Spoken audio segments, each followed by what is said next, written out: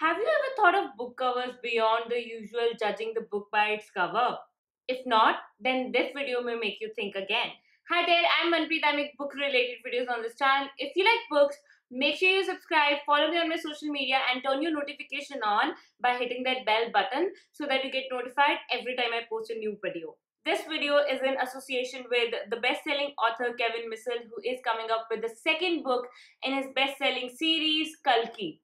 The much awaited second book in the series is now available for pre-orders. Check the link in the description. And before we start with this video, I would like to show you the book cover of the second book and, you know, with this little trailer that you need to watch now.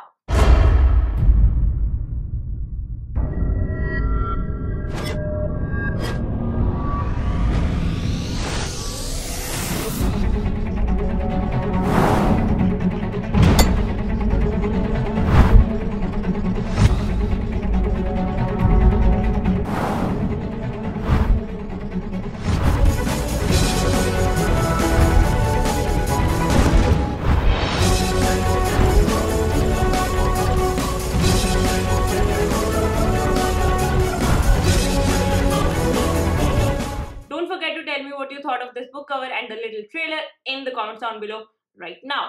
Now, without further ado, let's discuss some amazing facts about book covers. The biggest question of the century who decides the book covers? Contrary to what a lot of people think, the author actually has little to do with the book covers, which may be the reason why some book covers make no sense. The book covers are usually commissioned by the publisher, and it's the sales and marketing team of the publisher that associates with the designer and comes up with the book cover.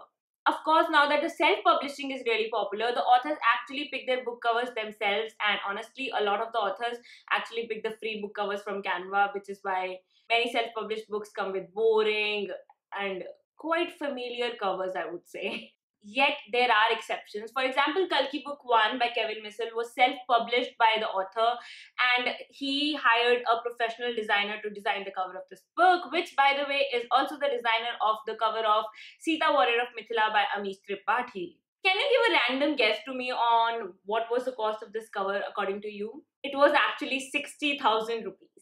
The second book cover that you just saw in the trailer has also some inputs from the author, even though the book is now being published by Fingerprint Publishing, and most of the cover is actually decided by the publisher, the text and placement, but the author does have a big role in designing and in figuring out how the design would actually look like and this cover costed about 70,000 rupees to the author. You must be wondering why more this time? Well, last time the author didn't have to pay the GST.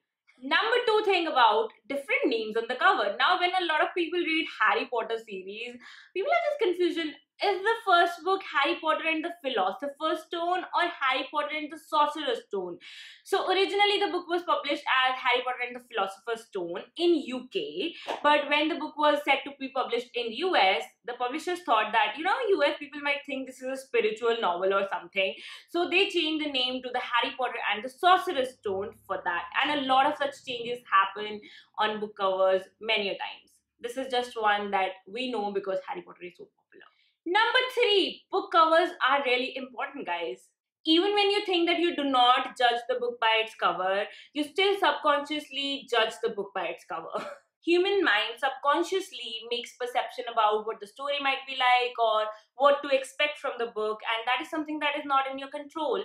So you do that. That is why book covers are more important than you think. And at times, the authors actually give you quite a lot of hints. Sometimes those are spoilers, but sometimes those are hints.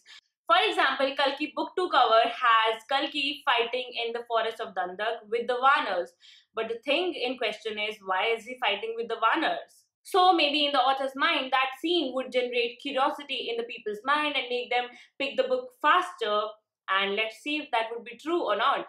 Number four, a lot of people think that online sales are reducing the importance of book covers. See, before the online era, the book covers had this book as artifacts value that really affected the sales. But now that it's online, people are more uh, worried about the reviews or how many people have bought the book or word of mouth or discounts rather than what the book looks like.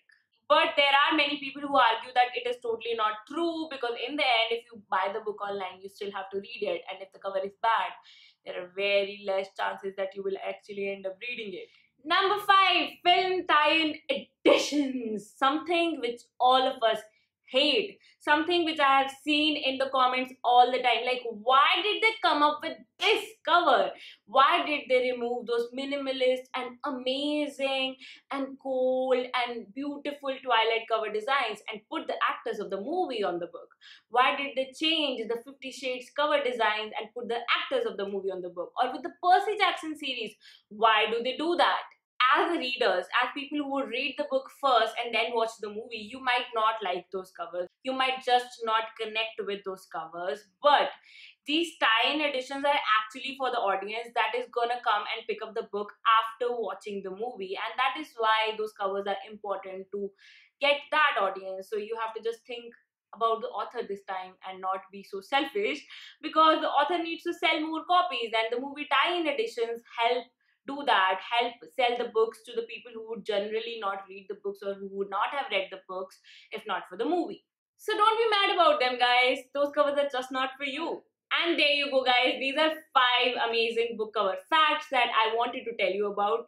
And honestly guys it took me a lot of time to find these facts. There are not many people talking about book covers. So if you know some book cover facts let me know in the comments down below. Do not just tell me that list of famous book covers. I have come across that list like 20 times while doing my research.